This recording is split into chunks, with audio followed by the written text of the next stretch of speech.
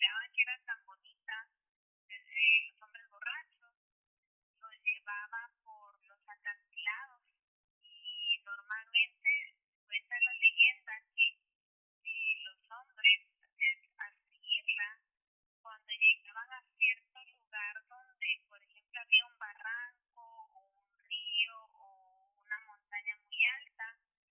eh, hacía ella que ella caminaba sobre el espacio vacío, digamos,